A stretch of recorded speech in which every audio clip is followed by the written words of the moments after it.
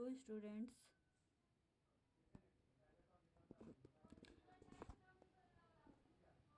हम लोग migration chapters जो है सेकेंड लेक्चर तक हो गया है, जिसमें हम लोग देखे हैं कि उसके कारण क्या क्या हैं। कॉज फैक्टर्स देखे हुए हैं, जिसमें कॉज फैक्टर्स में हम लोग जो है फ़िज़िकल फैक्टर्स और इकोनॉमिक फैक्टर्स देखे हैं। अभी हम लोग देखेंगे सोशियो कल्चरल कॉजेस इसको हम लोग कंटिन्यू करते हैं। सोशियो कल्चर कॉजेस क्या हैं? जिसमें हम लोग देखते हैं कि स्त्रियों का विवाह, लड़कियों का शादी हो जाने के बाद वो एक स्थान से दूसरे स्थान पे चली जाती हैं, जिसके कारण, जिस जाने के कारण वह एक स्थान से जब दूसरे स्थान चली जाती है तो क्या कहलाता है? वो माइग्रेट कर जाती हैं तो इसके संस्कृति के कारण वह माइग्रेट होता है। दूसरा जो है, धार्मिक कारणों से भी प्रवास। लोग धर्म प्रचार के कारण यहाँ वहाँ कुछ दिन के लिए होते हैं, कुछ समय के लिए होते हैं, कुछ सा एक साल के लिए होते हैं। तो इसको हम लोग क्या कहते हैं? धार्मिक कारणों से भी प्रवास। अब पॉलिटिकल कॉजेस नेक्स्ट पॉइंट जो है, हम लोग का राजनीतिक कारण से भी प्रवास होता है। कैसे? जैसे कहीं आक्रमण हो रहा, आक्रमण होने की संभावना होती है तो वहाँ से लोग प्लान कर जाते हैं तो वहाँ से माइग्रेट कर जाते हैं। कहीं पे विजय की प्राप्ति होती है तो वहाँ पे लोग जाके अपना अधिकार जमाने लगते हैं तो उस वहाँ पे वहाँ पे लोग जाके रहते हैं तो माइग्रेट होता है अपने स्थान को छोड़ के हुए, उस स्थान पे चले गए जहाँ पे उसकी विजय हुई। और नेक्स्ट जो हम लोग देखते हैं बलात् प्रवासन फोर्स्ड माइग्रेशन जिसमें हम लोग देखते क्या है कि फोर्सफुली किसी को वो माइग्रेट किया जाता है लेबर को तो उसको हम लोग क्या कहते हैं? बलात् माइग्रेशन फोर्स्ड माइग्रेशन। नेक्स्ट हम लोग देखेंगे डेमोग्राफिक कॉजेज। डेमोग्राफिक कॉजेज क्या है? डेमोग्राफिक में जिसमें इसके अंतर्गत चीज़ थ्री मेन फैक्टर्स हैं जिसमें देखते हैं बर्थ रेट डेथ रेट और जो होता है माइग्रेशन जिसमें हम लोग बर्थ रेट में क्या होता है? जनसंख्या बढ़ता है और डेथ रेट में जनसंख्या घटता है। उसी तरह डेमोक पर थर्ड में हम लोग क्या है? प्रवास माइग्रेशन माइग्रेशन से क्या होता है? एक तो जनसंख्या बढ़ेगा या जनसंख्या घटेगा।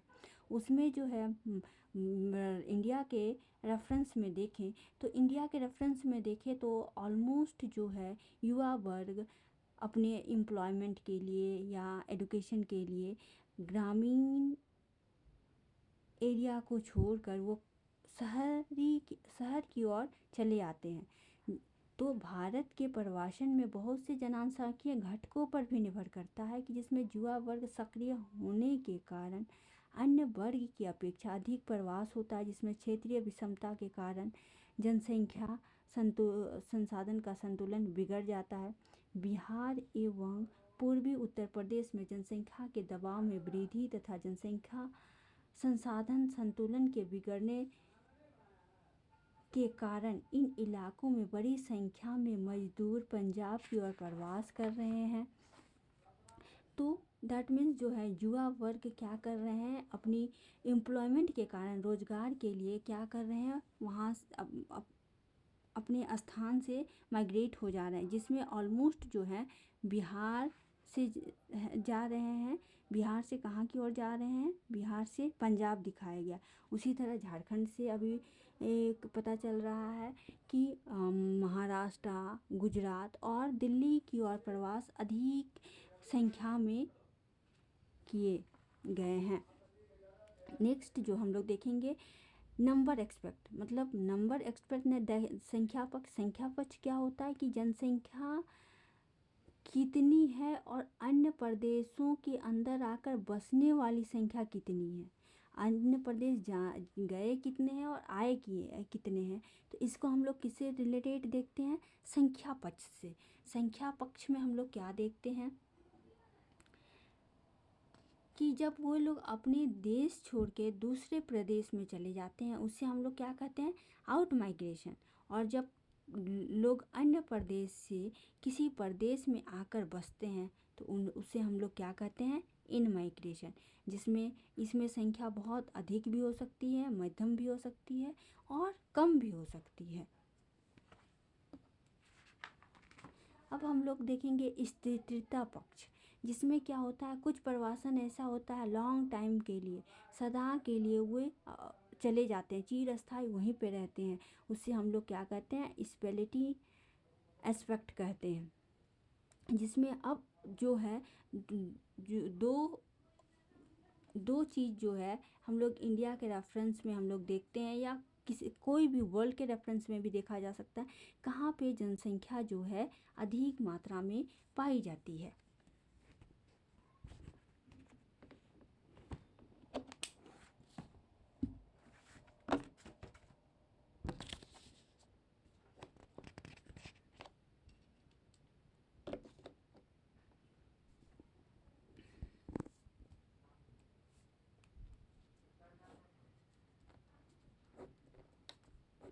ये कंप्लीट हो गया। अब टू मार्क्स का कभी क्वेश्चंस आ सकता है कि अपकर्स किसे कहते हैं और प्रतिकर्स किसे कहते हैं। तो ये हम लोग को जानना है कि अपकर्स दैट मीन्स क्या होगा। अपकर्स दैट मीन्स अपनी और जब वो आकर्षित करता है, तब उससे हम लोग क्या कहते हैं? अपकर्स और जब वहाँ की सिचुएशन कहीं जो सिचुएशन है खराब हो तो वो क्या करता है? प्रतिकर्ष करता है। दैट मीन्स पुश करता है, ढकेलता है। अब हम लोग अच्छे से देखते हैं कि अपकर्ष क्या है। नगरों में उद्योग, परिवहन, व्यापार तथा अन्य व्यवसायों में आजीविका के बड़े साधन होते हैं। वहाँ पर आधुनिक सुविधाएँ उपलब्ध होती है। इसलिए नगरवासी जनसंख्या चुंबक की भांति आकर्षित करते हैं। दैट मीन्स अभी का जो सिचुएशन चल रहा है, ग्रामीण इलाकों के कंपेयर में नगरों में क्या हो रहा है? उद्योग, व्यापार और जो है इस आजीविका आजीविका के बड़े साधन होने के कारण लोग ग्रामीण से नगर की ओर आते हैं। इसीलिए ये नगर प्रवासी जनसंख्या चुंबक की भांति काम करता है। चुंबक दैट मीन्स अपनी ओर क्या करता है? अट्रैक्ट कर रहा है। इसको हम लोग पुल फैक्टर्स बोलते हैं। प्रतिकर्ष कारक क्या कहते हैं? किसे कहते हैं? कि लोग प्रतिकर्ष कारकों से भी प्रवास करते हैं। इनमें आजीविका तथा आधुनिक सुविधाओं की कमी तथा भूखमरी प्रमुख है। शिक्षा, स्वास्थ्य, मनोरंजन एवं सार्वजनिक सुविधाओं के अभाव के कारण भी लोग गाँव को छोड़कर नगरों में चले जाते हैं। जो लोग गाँव में आजीविका प्राप्त नहीं कर पाते, उन्हें अधिशेष जनसंख्या कहा जाता है। दैट मीन्स इसके अंतर्गत प्रतिकर्ष कारक कहाँ, किस, जहाँ पे भूखमरी हो, शिक्षा की सुविधा अच्छी नहीं है, स्वास्थ्य अच्छा ना हो, मनोरंजन के अभाव हो और सार्वजनिक सुविधाओं के अभाव में वहाँ पे कौन सा फैक्टर्स होता है? प्रतिकर्ष कारक। और वे सभी आजीविका जिन्हें नहीं मिलता है, वो जो है, उन्हें हम लोग क्या करते हैं? जिन्हें मिल जाता वो तो गाँव की नगर की ओर चले गए अपकर्ष हो गए उन लोग, चुंबक की भांति वो नगरों में चले गए और जिन्हें जो और बाकी जो शेष रह जाते हैं, उन्हें क्या कहा जाता है? अधिक शेष जनसंख्या। ये टू मार्क्स का क्वेश्चन आ सकता है कि प्रतिकर्ष और अपकर्ष में क्या डिफरेंस है। आगे हम लोग देखेंगे कि प्रवास के परिणाम। हम लोग कारण भी देख लिए। अब हम लोग क्या देखते हैं? प्रवास के परिणाम। अब हम लोग देखते हैं प्रवास के परिणाम। प्रवास के परिणाम क्या है? Consequences of migration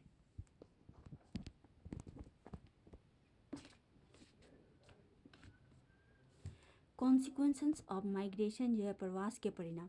फ़र्स्ट देखेंगे हम लोग इकोनॉमिक कॉन्सिक्वेंसेस इसमें देखते हैं ग्रामीण क्षेत्रों से शहरों की और प्रवास आय के स्रोत बढ़ जाते हैं।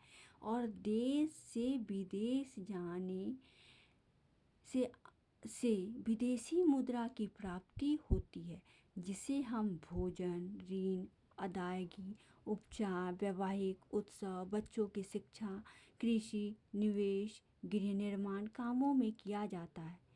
तो ये जो सोर्स ऑफ़ इनकम होता है, उससे क्या क्या में हम लोग क्या क्या करते हैं? भोजन, ऋण, अदायगी उपचार वैवाहिक उत्सव बच्चों की शिक्षा कृषि निवेश गृह निर्माण कामों में किया जाता है। अब ये इसका पॉजिटिव पॉइंट्स है। अब नेगेटिव पॉइंट्स क्या है? नगरों के आंतरिक प्रवास के दुष्परिणाम क्या क्या होते हैं? ये जब कोई दे बा, बाहर दूसरे शहर में चले जाते हैं तो ये इतना इनकम होने के कारण ये सब ये जो हैं उन व्यक्ति का भोजन लिविंग ऑफ़ स्टैंडर्ड जो है हाई हो जाता है। अब लिविंग ऑफ़ स्टैंडर्ड हाई हो जाता है लेकिन जिस नगर पे चले जाते हैं वहाँ पे तो उस सिचुएशन में वहाँ पे जो है उसके नेगेटिव पॉइंट्स हो जाते हैं। यदि पुअर हो तो हो तो वो क्या करते हैं? न, वे लोग जाके ऐसे ही सड़क के किनारे अपना निवास करने लगते हैं, जिसके कारण नगरों में भीड़ भाड़ बढ़ गई है। और महाराष्ट्र, गुजरात, कर्नाटका, तमिलनाडु और दिल्ली जैसे औद्योगिक रूप से विकसित राज्यों में मलिन बस्तियों का विकास होता है। ये पॉजिटिव पॉइंट्स हैं और ये नेगेटिव पॉइंट्स हुए। अब हम लोग देखेंगे सेकंड जो हैं, प्रवास के परिणाम में सेकंड जंग जनांकीय परिणाम। जनांकीय परिणाम में क्या होता है? जनांकीय परिणाम में नगरों का विकास होता है। हम लोग जानते हैं कि फ़र्स्ट जो है जनांकीय के अंतर तीन फैक्टर्स हुए। बर्थ रेट डेथ रेट और थर्ड माइग्रेशन तो हम लोग का जनांकी रिलेटेड से अभी देखना क्या है? माइग्रेशन तो इसमें देखते हैं नगरों का विकास होता है। नगरों का विकास होने के कारण क्या होता है, जनसंख्या अधिक होती है और वहाँ से लोग एक स्थान से दूसरे स्थान पे चले जाते हैं। अब उद्भव क्षेत्र से दुष्प्रभाव क्या होता है? उद्भव क्षेत्र से दुष्प्रभाव ये होता है, जनांकी के परिपरिणाम में ये देखते हैं, जो ग्रामीण इलाका से वो नगर की ओर आते हैं तो वहाँ पे जो नवजुवक की संख्या काफ़ी कम हो जाती है और जिससे ग्रामीण और और शहरी इलाकों में असंतुलन पैदा हो जाता है।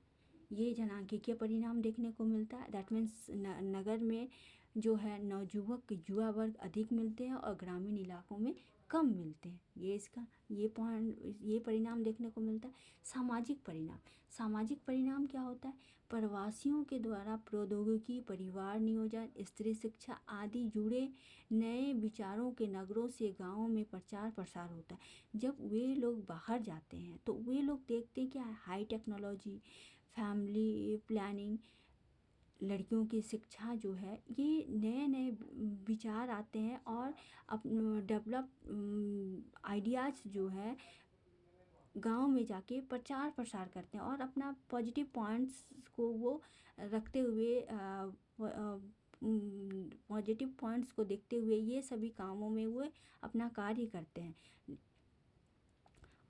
प्रवास के द्वारा विविध संस्कृतियों से जुड़े लोगों का आपसी मेलजोल बढ़ता है जिसके कारण विविध संस्कृतियों से मेल जोल बढ़ता है। दैट मीन्स जो है दूसरे दूसरे की कल्चर को देख के वे आ, मतलब अपने आप में मेल जोल बढ़ाते हैं और संकीर्णता से हटकर विचारों में खुलापन आ जाता है जो नेगेटिव माइंड रहता है।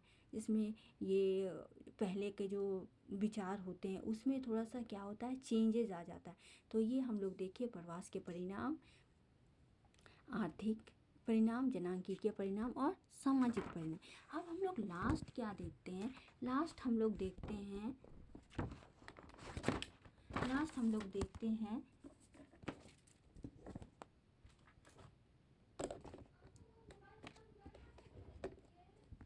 लास्ट हम लोग देखते हैं, प्रवेश स्थानांतर प्रवास inter regional migration that means हम लोग ये देखते हैं कि यहाँ पे ये इंडिकेटर जो दिखा रहा है, ये अधिक प्रवास कर रहे हैं इस क्षेत्र में। जिस और ये एरो बनाया गया, वो वहाँ से प्रवास कर रहे हैं और ये रेड जो दिया हुआ है, इसके, इससे क्या दिखाया जा रहा है? कम प्रवासी कर रहे हैं। तो हम लोग देख रहे हैं ऑलमोस्ट जो ये दिल्ली क्षेत्र का जो है, ये नोएडा, ये ये सभी गुड़गांव, ये सभी में ऑलमोस्ट जैसे जैसे अधिक प्रवासी हैं और यहाँ पे इधर से भी देखा जा रहा है तो महाराष्ट्र में भी अधिक प्रवासी आ रहे हैं सभी राज्यों से। और कम प्रवासी में देखा गया है, जो रेड वाली लाइन है, ये इस तरह का लाइनिंग जो दिया गया है, वहाँ कम प्रवासी दैट मीन्स एक स्थान से जो लोग दूसरे स्थान पे चले जाते हैं, उसको हम लोग क्या कहते हैं? प्रवासी। अब हम लोग ये हम लोग का कंटिन्यू ये चैप्टर्स जो है माइग्रेशन हम लोग का कंप्लीट हो गया। नेक्स्ट डे हम लोग पॉपुलेशन करेंगे। Okay thank you